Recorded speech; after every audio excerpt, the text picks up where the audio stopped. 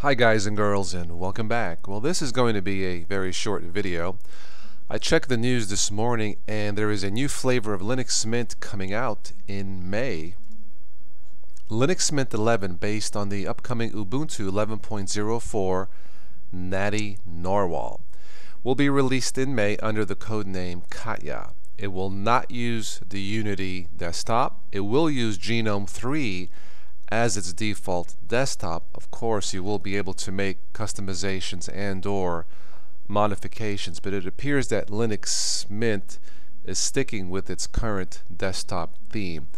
Um, I would have to agree, unless Unity catches on, I think GNOME probably right now is the one to uh, stick with. Again, it will be released in May under the code name Katya. I think Katya is Russian, probably meaning Catherine, and I think it has the Greek origins meaning pure.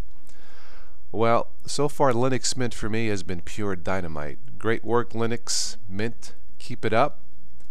And I'll catch you guys next time.